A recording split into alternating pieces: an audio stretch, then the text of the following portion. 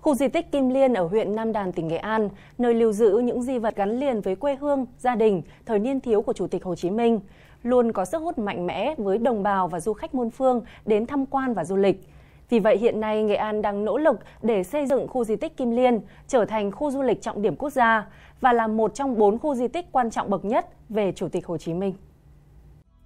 Khu di tích Kim Liên được thành lập từ năm 1956, trải qua nhiều lần thay đổi tên gọi, Ban xây dựng quê hương, Bảo tàng Kim Liên, rồi khu di tích Kim Liên.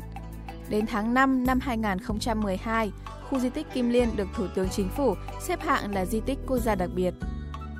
Với diện tích trên 200 ha, di tích Kim Liên được quy hoạch gồm hai cụm di tích chính là quê nội làng Sen, quê ngoại làng Hoàng Trù và một số điểm di tích khác. Trong những năm qua, nhiều hạng mục của khu di tích Kim Liên đã được đầu tư mở rộng, nâng cấp như khôi phục 6 hộ láng giềng, ao cá Bác Hồ, vườn hoa, cây ăn quả, nhà trưng bày hiện vật, nhà bái đường, công viên ở khu mộ. Lần này về thì em cảm thấy là khác biệt hơn rất là nhiều ạ, sạch sẽ, khang trang hơn rất là nhiều ạ. Dạ, em mong muốn là khu di tích trong thời gian tới thì uh, sẽ tiếp tục là uh, được quy hoạch theo một hướng hợp lý hơn nữa. Như cái hồi của bác uh, đến đấy từ 65 độ về được như thế là ngay từ cả cái nhà này như thế là bây giờ đã cái nhà tranh của bác bây giờ cũng là này, nó có cái tính chất là sắp xếp và tu sửa như thế là gọn gàng và ngăn nắp.